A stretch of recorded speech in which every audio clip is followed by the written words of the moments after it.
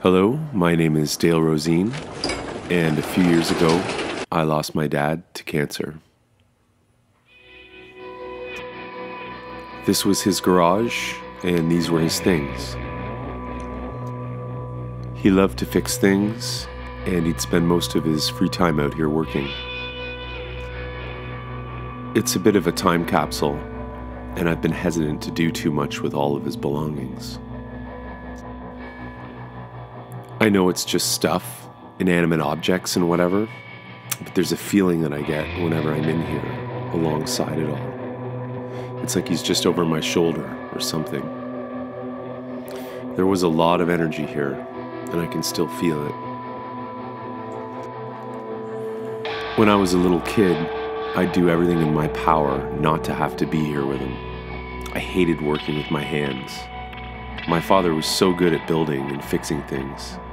I felt like I could never measure up.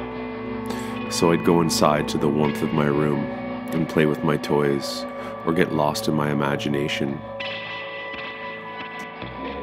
The last thing I wanted to do was be in a cold, smelly garage.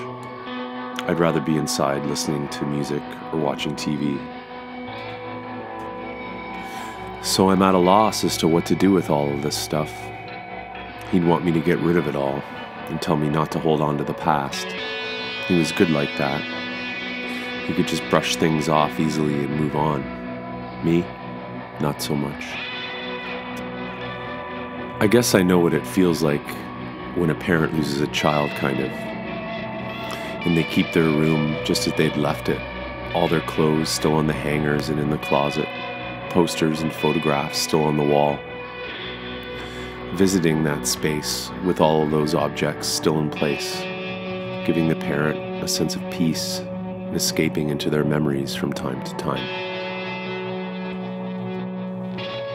It's just the opposite for me. I'm a son who lost his dad, and this is his garage, and these are his things.